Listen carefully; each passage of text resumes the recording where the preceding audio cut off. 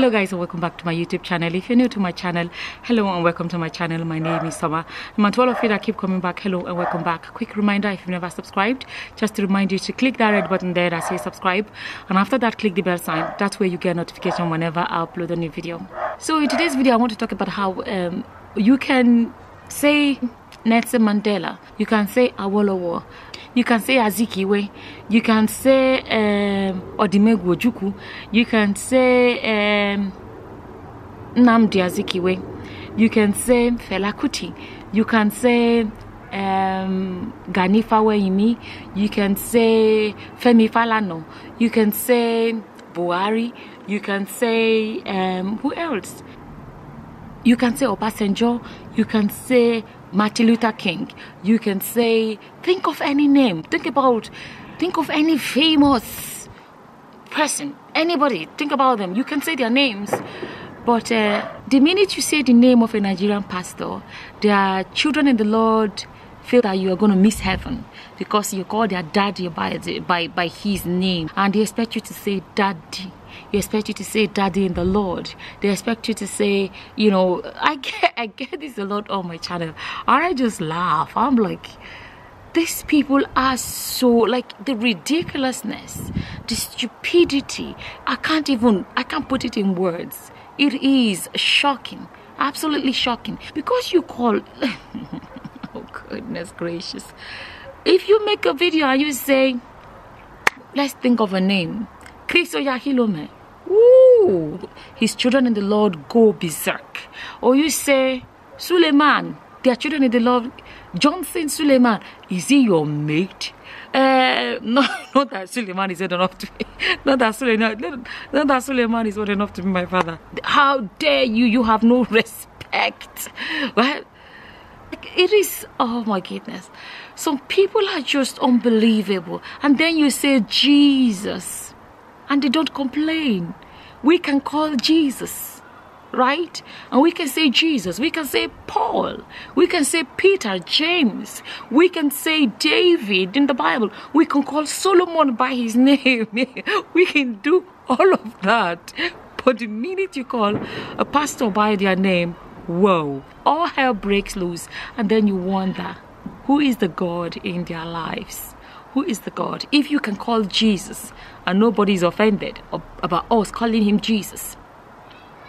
But you call their pastor's name they get triggered. They get triggered. How dare you call me like okay to start with right a lot of these pastors like that like if i saw for example let me think of um, Adeboye.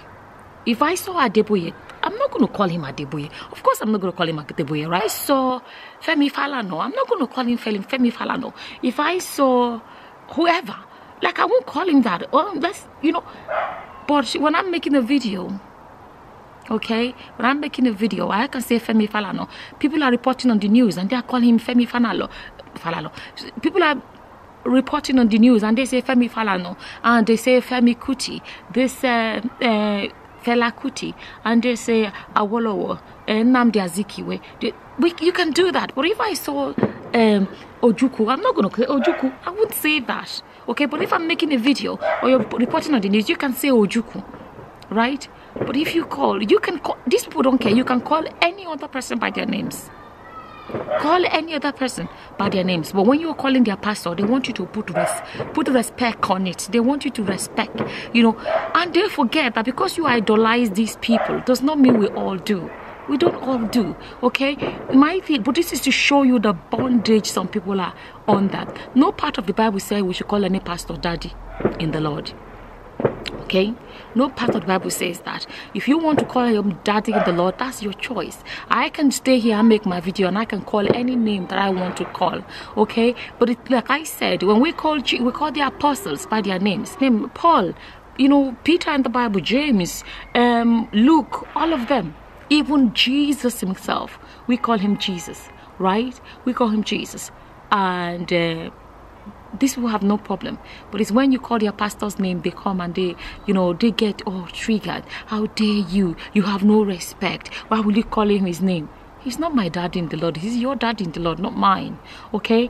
But this is what we're talking about I like to make these videos. You know, this is why I like I want to address these videos because it brings back the message that people have made human beings gods in their lives. I made a post the other day on uh, Facebook about tithing, and this lady came and started talking about how tithing has worked for her, tithing has opened all these doors, da, da, da, and I told her, I said, listen, you know i said if you feel like you you are paying god for the blessings that you have it basically means that you're saying that god is collecting bribe okay? You're basically saying that um, it is by your work.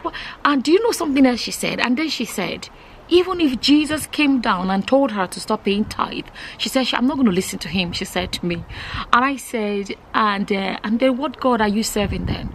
You say you're you, you believe you're paying tithe to please god and then if Jesus tells you not to do it, you're not going to listen to him. Then what God are you trying to please with your tithe then? This is what we're talking about. To the point somebody said, I would even listen to Jesus. You know why? Because they listen to their pastors. The pastors have become God in their lives. You know, some of them like, uh, somebody was saying to me, uh, let it be. Even if they are deceiving us, it's none of your business. Uh, it's none of your business. Uh, you mind your business. Look, look i'm making my video here on my channel. I do not bring my video to your house. If you don't click my video my video will not open and play to you. I'm not forcing my video on you. Just like your pastor has the right to say whatever he wants to say i have the right to make a video and address it. Somebody left me a comment two days ago two or three days ago and said um, if you know that they are not doing the right thing go and start your own church. The bible says expose them. The bible says you should not take part in this should not take part in all these works of iniquity. Instead, expose them. It didn't say instead open a church. I say we have to follow what the Bible says. But these people that, you know, they come and they defend their daddies in the Lord. And their daddies in the Lord are having a great time because they have succeeded so well in deceiving these people. And uh, let me tell you, some of these people are in what I can call spiritual gas chamber spiritual gas chamber. They are in this bondage. They do not know it. They will do anything to defend their pastor, not the truth from the Bible. Somebody said to me, uh, somebody said to me, you know, you know, um, what's it called? You know, at the end of the day, you just leave them, let them do their own thing. You know, you just leave them, let them do their own thing. Uh, you just do your own thing. I said, no, the Bible tells us, you know, that exposing these things you know i've read i've read uh, you know if you read uh, first timothy uh, chapter 4 verse 1 and 2 and go into 6 you know it talks about how you know it talks about all these doctrines that people are going to invent all these false doctrines and he said but if you if you expose these things you tell the brothers and sisters about these things you you share about these things you'll be doing the work of god You'll be doing the work of God by doing these things. You are doing the work of God. You're following Christ by doing these things and uh, i'm not pushing my video on you. If you do not click my video my video will not open. If you do not sit down and watch my video you will not have a clue what's in it. You make the choice to click. That i didn't force it on you. So if you come and tell me my pastor my pastor has had to tell, tell us you know somebody was like there's this one that said uh, um he's, my pastor is addressing his children. He's not addressing you. I said yeah, your pastor is addressing your children and he's posting it on youtube.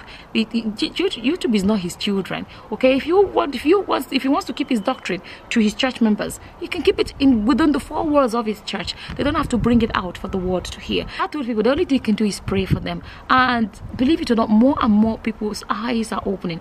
The first time I shared about um, tithing would have been about seven years ago. I shared about tithing and I showed people what the Bible says about tithing. Uh, some people were shocked. Some people were shocked, like, whoa, never saw that in the Bible. I never knew that was in the Bible.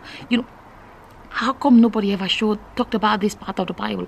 People were in shock. You know so it's just shocking how you can say jesus you can say you know you can call the name of jesus you can call the name of anybody. Think about the greatest people that ever lived on earth. Think about the greatest people in the bible. Think about all of them. You can call their name no problem. But the minute you call their pastor's name all hell break loose. You know and you wonder who is the god in their lives who is the God in their lives. I've said it before and I say it again. All you can do, all we can do is speak. And after that, pray that God will open these people's eyes. Because some of them have gone so far that the only thing that can help them is prayers. That's the only thing that can help them. It shows you how they've placed their their pastor so high and mighty. I will keep telling you this that God is no longer God in the life of a lot of people. The pastors have become their gods. And, uh, you know, some of the things that the truth in the Bible does not matter to them. It is what their pastor says. And these are all the part of the, this is part of the the work of the devil to drag them the wrong way. Oh, since you started making this video, our church keeps growing. The Bible says it that the way that leads to destruction, many go through it. Your church can grow as much as, but don't forget what the Bible says that many go through it they like they act like people that are hypnotized. They act like people that are you know hypnotized like somebody has taken away their sense of reasoning. It is shocking. It is really shocking the way things are going. Really shocking. Like i said you can call the name of anybody. Call the name of anybody. Even jesus himself. We don't call him daddy jesus call him Jesus and he's answering our prayers. I just pray that you watching me, that you will not be one of those that be led astray.